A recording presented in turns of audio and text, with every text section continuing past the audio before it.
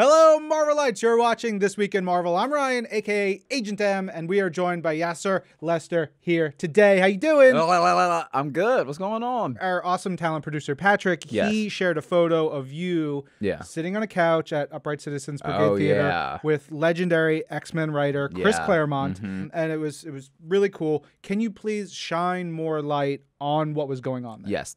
Uh, so uh, at UCB, there's a show called ASSSSCAT where they they take people who uh, essentially give like a short monologue, and from that short monologue, improvisers then do scenes, improvise scenes based off your monologue. So at the time, I was a writer on Girls with one of my good friends, Tammy Sagher. She's like, "Do you want to do ASSSSCAT?" And I'm like, "Yeah, sure." Uh, she asked me like a day before, by the way. Tammy and Patrick are like, "Oh yeah, so the other the other person on the show is uh this guy Chris Claremont, blah blah blah." And I was just like, "Wait, I, I, I'm sorry, are we talking about?" Chris Claremont, Chris Claremont, the the writer, and everyone's like, yeah, and I was like, I can't do this. Like, are you crazy? I don't want to like meet in this setting. I have to like say I love you first and like all these other things. So anyway, the one thing I've never gotten good at is like being like, hey, let's get a picture together. I just can't. Like sometimes I'm just like, do I just let the memory happen and then that's it? I'm still just freaking out, and they're like, you should just get a picture. And I was just like, I said the same thing. I was just like, no way. And they're like, no, we'll we'll here's here's how we'll do it. We'll just disguise it as a group picture.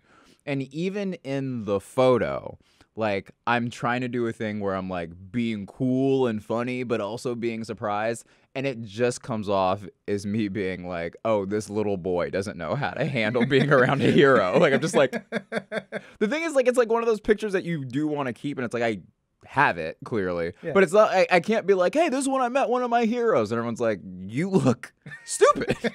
so I just have to tell people the story versus being like, and here's the evidence, you know. I also met Stan Lee once and ended up making the exact same face.